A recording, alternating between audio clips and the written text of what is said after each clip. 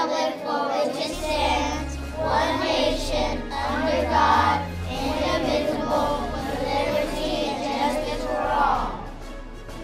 The Daily Pledge is sponsored by Climate Doctors, proud to present the future of our country.